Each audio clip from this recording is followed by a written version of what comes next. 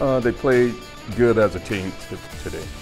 You say they played better today than other games? Or Uh, yes, the last couple of games they could have played a little bit better team ball, but tonight they, they did a great job.